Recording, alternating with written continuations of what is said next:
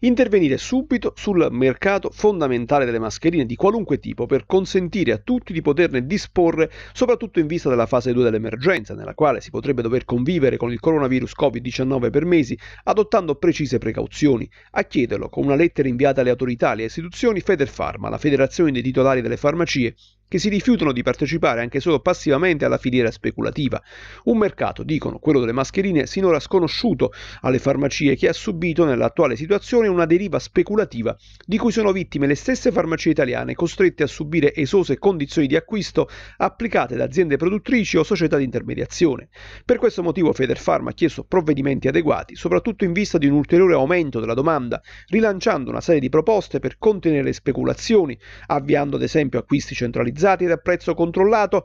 Anche la Federfarma Nazionale stamattina ha pubblicato un comunicato stampa nel quale parlava di alcune criticità che si sono verificate su tutto quanto il territorio e di quesiti posti alle autorità. Ehm, Federfarma Nazionale è ancora in attesa di risposte tipo avere, de, avere dei prezzi calmierati da parte di, di chi vende queste mascherine, perché il problema sostanziale è che le farmacie acquistano già prezzi molto alti rispetto a qualche mese fa, come ha detto anche il presidente di Federfarma Campania. Quella di avere degli acquisti centralizzati sarebbe una buona opportunità per avere un, quindi un prezzo calmerato sul territorio e magari avendo degli acquisti centralizzati si possono uh, avere dei prezzi più bassi, però queste sono tutte quante ipotesi al vaglio de, de, di Federfarma Campania, sono state delle proposte fatte anche dalla Federazione Nazionale quindi siamo in attesa di ricevere comunque delle indicazioni e anche delle risposte.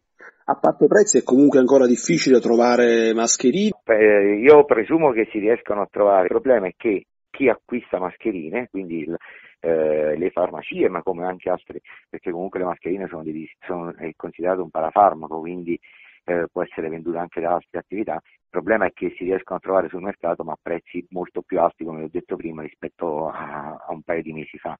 Quindi il problema sostanziale è questo. Presidente, poi c'è l'altra questione relativa alle confezioni grandi, insomma, di mascherine a livello nazionale si è chiesto di poterle sconfezionare per venderle singolarmente, in Campania c'è un provvedimento del genere, non sempre viene tenuto conto da parte delle forze dell'ordine.